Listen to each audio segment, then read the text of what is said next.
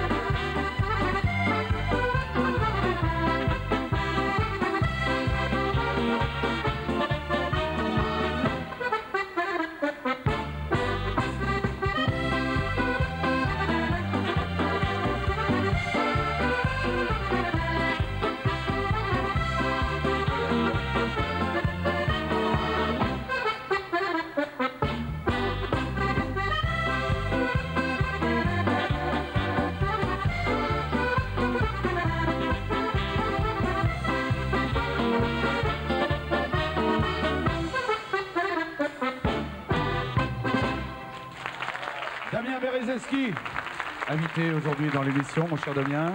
Bonjour, merci d'être venu. Bonjour à tous, merci. Alors, c'est quel département qui est représenté maintenant? La Marne. La Marne, donc euh, Lorraine-Champagne-Ardenne, évidemment. Tiens, puisque je parle de Lorraine-Champagne-Ardenne, je vous signale qu'on aura la chance d'avoir sur le plateau de Suranère d'Accordon, ça peut être facile parce qu'il est très pris, notre ami Roland Zaninetti ah. prochainement.